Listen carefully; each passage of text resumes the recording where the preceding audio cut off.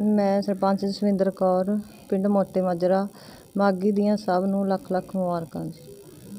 ਵਾਹਿਗੁਰੂ ਜੀ ਕਾ ਖਾਲਸਾ ਵਾਹਿਗੁਰੂ ਜੀ ਕੀ ਫਤਿਹ। ਮੈਂ ਫਕੀਰ ਸਿੰਘ ਪਿੰਡ ਮੋਟੇ ਵਜਰਾ ਜ਼ਿਲ੍ਹਾ ਮੋਹਾਲੀ ਦਾ ਰਹਿਣ ਵਾਲਾ ਹਾਂ।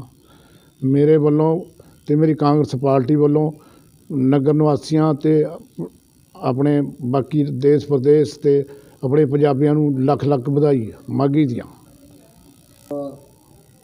ਜਿਹੜੇ ਕਿਸਾਨਾਂ ਦੇ ਕਿਸਾਨਾਂ ਕਿਸਾਨ ਮੋਰਚਾ ਲੱਗਿਆ ਕਿਸਾਨੀ ਧਰਨਾ ਲੱਗਿਆ ਕਾਲੇ ਕਾਨੂੰਨ ਜਿਹੜੇ ਬਾਰੇ ਲੱਗਿਆ ਕੀ ਕਹਿਣਾ ਉਹਨਾਂ ਬਾਰੇ? ਉਹਨਾਂ ਬਾਰੇ ਵੈਸੇ ਤਾਂ ਮੁੱਦੀ ਨਜਾਇਜ਼ ਕਰ ਰਿਹਾ ਜੋ ਕੁਛ ਵੀ ਹੈ। ਇਹ ਜੋ ਆਪਣੇ ਕਿਸਾਨ ਹੱਕ ਮੰਗ ਰਹੇ ਆ ਆਪਣੇ ਹੱਕਾਂ ਦੇ ਬੈਠੇ ਆ ਠੀਕ ਬੈਠੇ ਆ ਅਸੀਂ ਵੀ ਇਹਦੇ ਨਾਲ ਸਪੋਰਟ ਕਰਦੇ ਆ।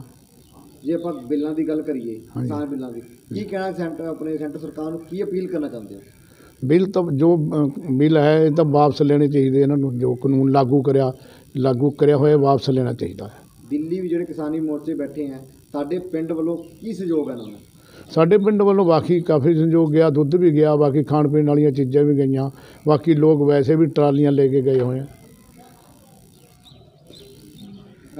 ਸੈਂਟਰ ਸਰਕਾਰ ਨੂੰ ਕੀ ਅਪੀਲ ਕਰਨਾ ਚਾਹੁੰਦੇ ਹੋ?